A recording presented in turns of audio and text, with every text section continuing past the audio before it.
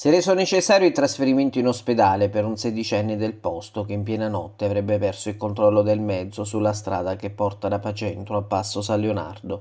Dalle prime informazioni raccolte sembrerebbe che il giovanissimo si trovava a bordo della sua Apecar quando, per cause ancora da accertare, avrebbe perso il controllo del mezzo. Sulla dinamica del sinistro sono in corso gli accertamenti da parte dei carabinieri della compagnia di Sulmona.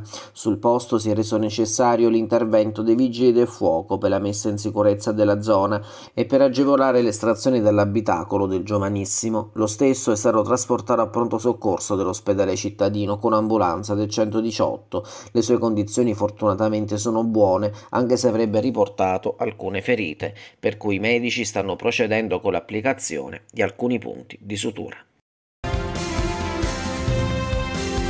Non trova pace il semaforo di Porta Sant'Antonio. Da alcuni giorni l'impianto risulta lampeggiante con ovvie ripercussioni sulla circolazione e la sicurezza stradale. La prossima settimana infatti i tecnici lavoreranno al riassetto dell'impianto tenendo conto dei flussi veicolari della circonvallazione delle strade laterali, Viale Patini e Via Deramo. È stato calcolato che finora il rosso è scattato per ben 120 secondi, due minuti che sono un tempo lungo per un semaforo, provocando non solo fastidio comprensibile ai automobilisti ma anche anche code lunghissime.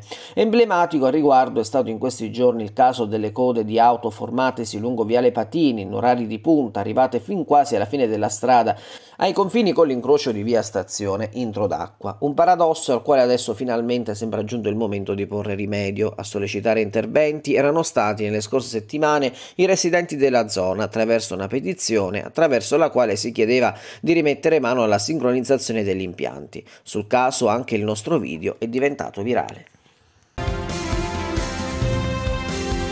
Due anni, sei mesi di reclusione, risarcimenti alle parti civili, refusione delle spese di lite e questa è la pena combinata dalla Corte d'Appello dell'Aquila all'ex vice sindaco di Roccaraso, Alessandro Amicone, per la calunnia riguardante i mondiali juniores di sci alpino che si sono svolti a Roccaraso nel gennaio 2012. I giudici aquilani hanno parzialmente riformato la sentenza di primo grado emessa dal Tribunale di Sulmona il 14 ottobre dello scorso anno, abbonando sei mesi di pena all'imputato. Sotto processo erano finiti uniti anche l'ex governatore del Lazio Francesco Storace, all'epoca dei fatti direttore responsabile del Giornale d'Italia, e il giornalista Federico Colosimo, autore di alcuni articoli sull'argomento, ovvero sulla gestione dei 12 milioni di euro a disposizione del comune per l'organizzazione dei campionati. Entrambi sono stati assolti dall'accusa di diffamazione. Amicone invece è finito sotto la lente della magistratura per il reato di calunnia, per aver cioè depositato davanti all'autorità giudiziaria alcuni esposti, ritenuti dalle dalle parti civili i legittimi arbitrari sulla gestione dei mondiali da sci. Secondo il castello accusatorio sarebbero stati lesi l'onore e prestigio dell'imprenditore Mauro del Castello, amministratore della società Siffat, Luca Colecchi e Felice Colecchi, rappresentanti della Pizzalto SPA, il sindaco di Roccaraso Francesco Ridonato, nonché i consiglieri comunali Patrizia Olivieri Domenico Cordisco. Nell'esposto l'ex vice sindaco faceva riferimento agli appalti, alla fornitura di carburanti, alla realizzazione di un tunnel, l'utilizzo di motoslitte, una semplice segnalazione di presunte anomalie per la difesa dell'imputato, mentre per il Tribunale e la Corte d'Appello si tratta di calunnia, da qui la condanna rimodulata ma non evitata.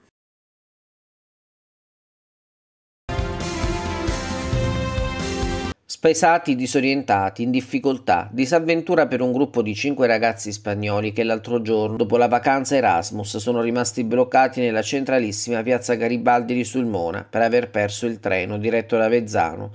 Scesa ormai la sera hanno tentato invano di contattare taxi pubblici e privati, autolinee di autobus, perfino i carabinieri, al fine di trovare un modo per proseguire il viaggio. Nessun mezzo a disposizione nella città del turismo, come denuncia una coppia sulmonese che ha incrociato i giovanissimi Massimi si è fatta carico della loro situazione. Dopo un'ora e mezza di telefonate sul Monese hanno trovato un albergo per il pernottamento. È il caso di mettere in rete l'offerta del trasporto tra pubblico e privato, perché una città che vuole offrire accoglienza non si può bloccare dopo le 20, osserva ancora la coppia. I giovanissimi sono stati comunque presi in carico dagli angeli custodi, ma la vicenda assomiglia alla storia del turista australiano settantenne che nei giorni scorsi dalla stazione ferroviaria si è fatto 3 km a piedi sotto la pioggia con il bagaglio tra le mani, essendo stato cancellato il bus September. Per questo episodio il comune si è scusato ufficialmente con il sulmonese di adozione e con la sua consorte. Entrambi sono stati ricevuti a Palazzo San Francesco, accompagnati da Gabriella Di Mattia, dal sindaco Gianfranco Di Piero, dall'assessore Attilio D'Andrea e dalla consigliera comunale Teresa Nannarone. L'impegno assunto dal comune è quello di istituire un bus in prima serata che colleghi la stazione al centro, cosa non facile vista la carenza di mezzi e risorse umane.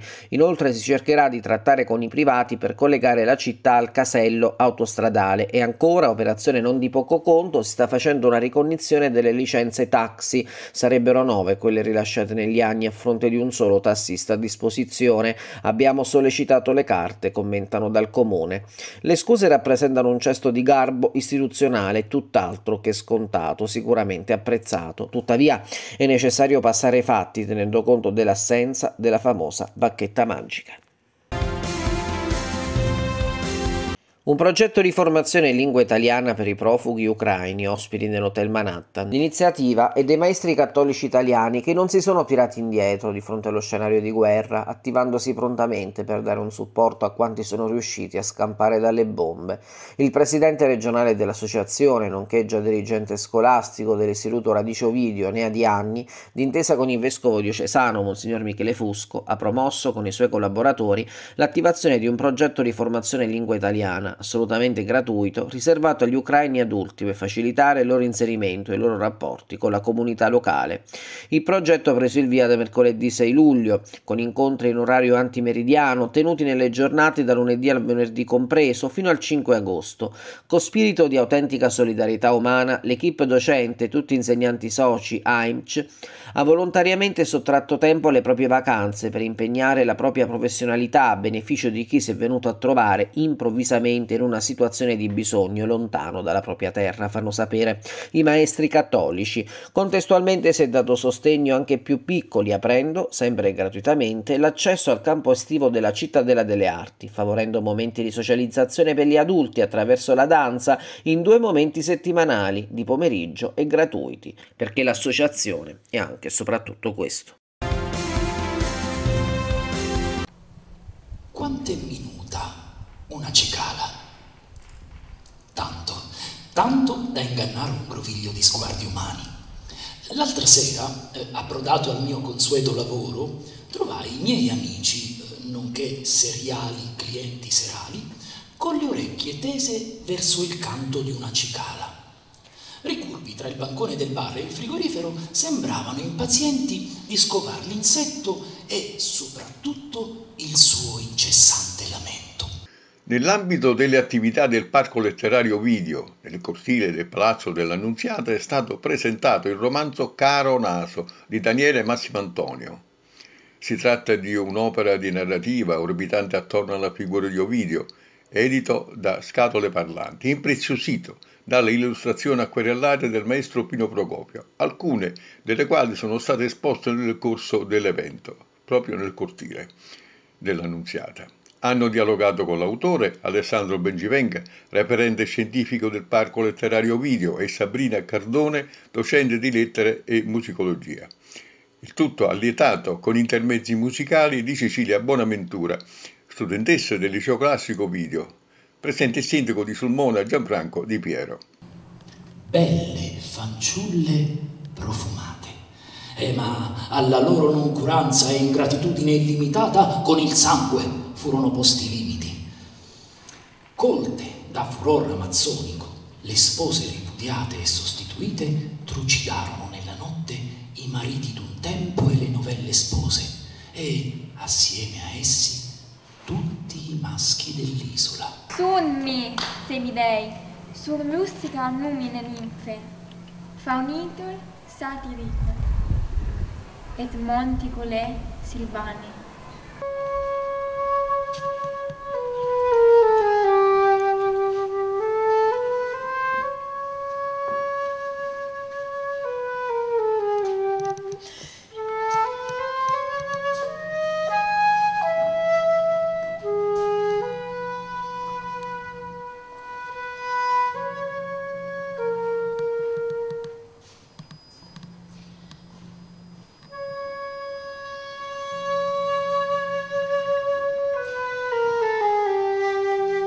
Nei suoi versi Ovidio rivela spesso al lettore il proprio nome, o meglio il cognomen, detto in latino, vale a dire naso, il caso genitivo Nasonis, quindi Publius Ovidius Nasonis. Caro naso dunque è da intendersi quale dichiarazione di affetto e di profonda gratitudine nei confronti del celebre poeta, ma vuole essere anche un invito alla riscoperta in chiave originale e contemporanea di un grande classico. Eh beh, si sa, i classici non muoiono mai. Ovidio vive, ha semplicemente mutato forma nel corso dei secoli, così naturalmente le ultime metamorfosi.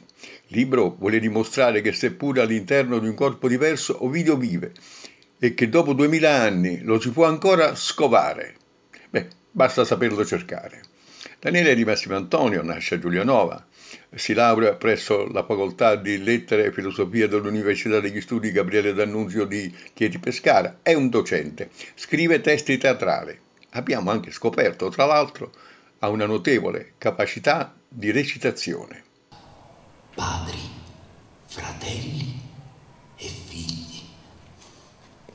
Nonostante il tremendo crimine commesso, il rancore non sembrava mutar forma e le lemniadi continuavano a nutrire sentimenti profondamente ostili agli uomini. Come nasce l'idea di scrivere un romanzo, perché il suo è un romanzo, che ruota intorno ad Ovidio? Magari visto in chiave moderna o contemporanea. È così. È così. Intanto un saluto a tutti gli spettatori di Onda TV. Eh, sì, nasce appunto come storia delle metamorfosi, ma non intendo il titolo del, del celebre libro, quanto piuttosto eh, la, la storia delle trasformazioni del poeta, di, di Publio Ovidio Nasone, caro Naso appunto, e ho immaginato che nell'arco di questi duemila anni lui possa aver cambiato molte volte forma. Vogliamo parlare un momento della trama di questo, di questo romanzo, sia pure velocemente. Sì, dunque, eh, in realtà è proprio questo, ogni capitolo è una continua trasformazione, quindi è come per dirla con Pitagora, con il Pitagora del, del quindicesimo libro delle Metamorfosi, è una continua metempsicosi, per cui Ovidio, lo spirito di Ovidio, in ogni capitolo cambia forma forma e, e si spinge fino ai nostri giorni.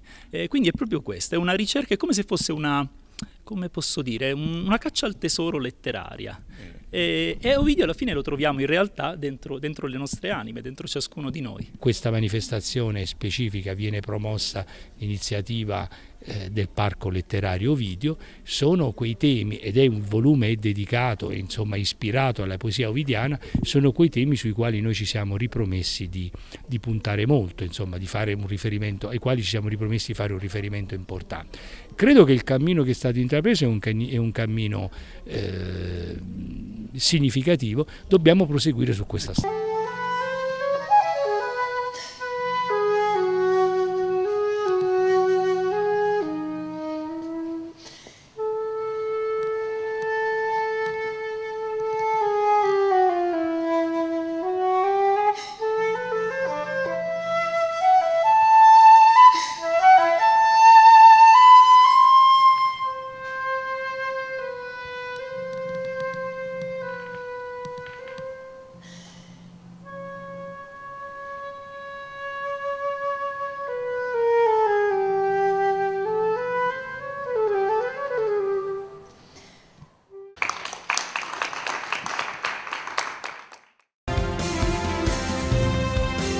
Una giornata dedicata al ricordo del professore Emiliano Splendore.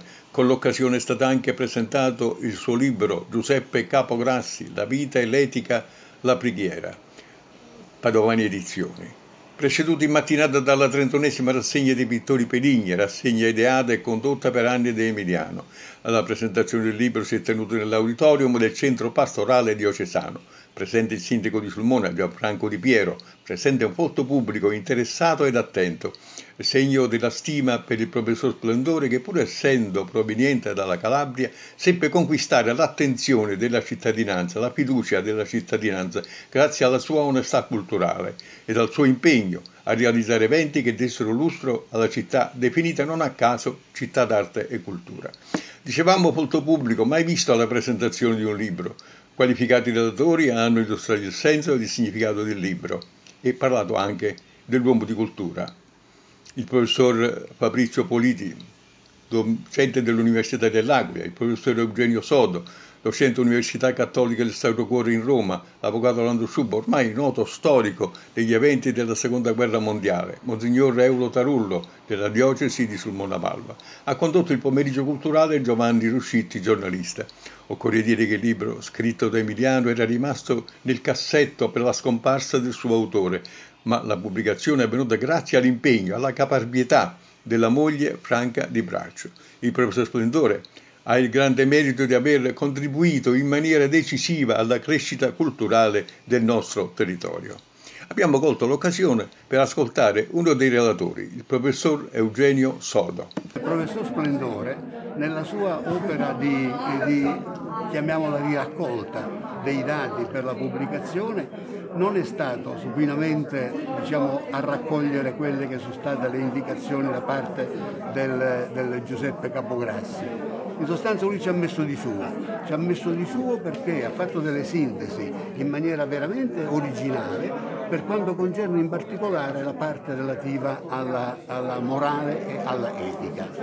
Ovviamente le tre parti che compongono l'intera opera sono pure relative all'anagrafica da parte del Capograssi e alla fine c'è la parte della religione a cui lei si accennava.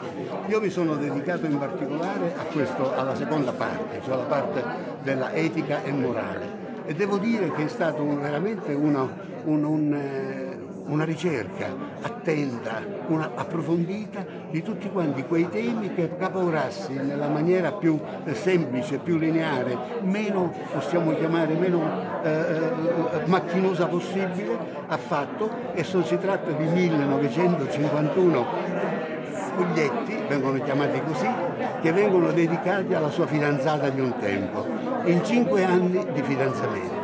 In questo troviamo nel Capograssi tutta una serie di, diciamo, di indicazioni, ma la cosa più importante che il, il, lo splendore che Emiliano Splendore ha messo insieme è che da queste 1951 eh, foglietti è venuto fuori qualcosa di più personale. Per esempio proprio nei temi della etica, lui ha individuato, perché è evidente che parlando con la sua fidanzata, scrivendo alla sua fidanzata, il Capograssi non si soffermava a dire sì, voglio questo, voglio quest'altro, mi piace questo, mi piace quest'altro. Lui scriveva liberamente. E la cosa che è stata grande da parte di Emiliano Splendore è che lui ha paternizzato le varie parti. E i temi della etica in particolare lui ha appoggiato il, il, il dito esattamente sull'individuo, sulla persona, sull'amicizia, sulla famiglia, sulla patria. Sono tutti quanti temi che non sono spontaneamente trovati eh, nel, nello scritto del Capograssi, ma sono stati da parte di Splendore metabolizzati, messi in evidenza e ovviamente discussi e commentati.